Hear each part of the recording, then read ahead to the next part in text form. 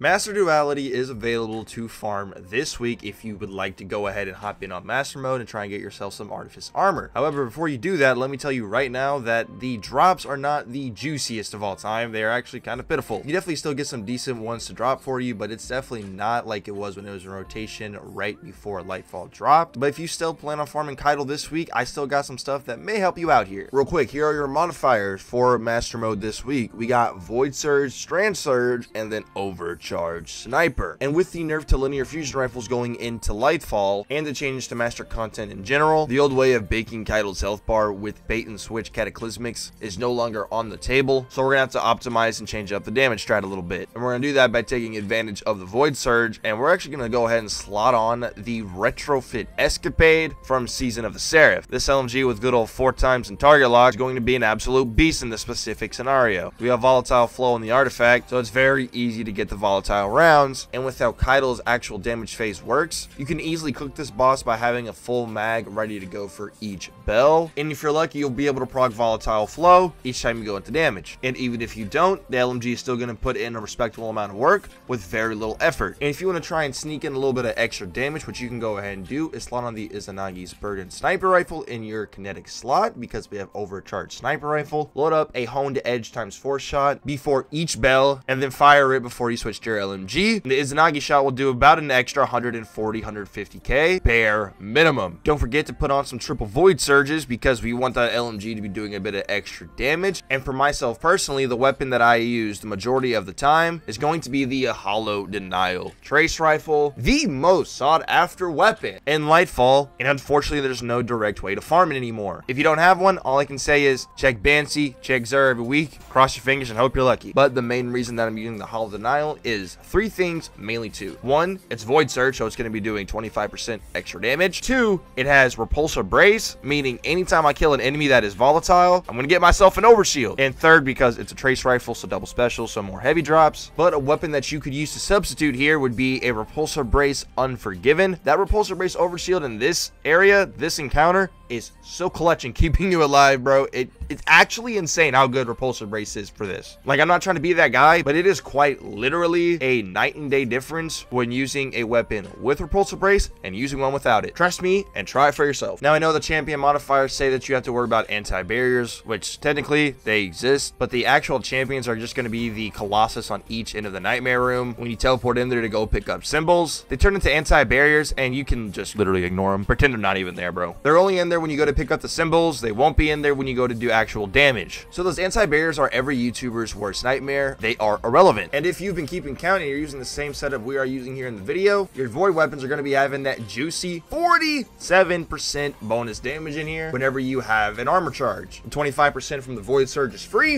and you're going to be wearing three void surges for 22% extra damage to your void weapons. Meaning that even though you're 20 light under, your hollow denial is going to absolutely just melt through every enemy including the yellow bars, and that retrofit it's gonna go burr. But real quick, I'd like to reiterate what I said at the start of the video. I don't think this is the best Artifice Armor farm for your time. The stats and the spikes are just low and are in kind of the wrong places. But if you still plan to use some of your time this week inside of this encounter, I hope this helps you. Thank you for giving me over three minutes of your time. Have a great day. Consider subscribing. We'll see you guys in the next one. Y'all be safe.